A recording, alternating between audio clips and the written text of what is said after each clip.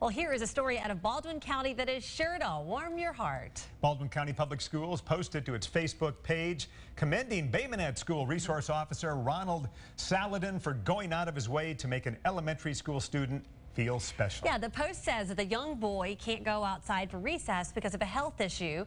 So school resource officer Saladin purchased a police uniform for the student with his own money and made him his partner for an indoor foot patrol. A kind gesture that made sure that the student did not feel left out. Look at him. He is so cute. I bet he loved that, walking around I the halls with too. the police officer. Very official looking. Yeah, big boy on campus.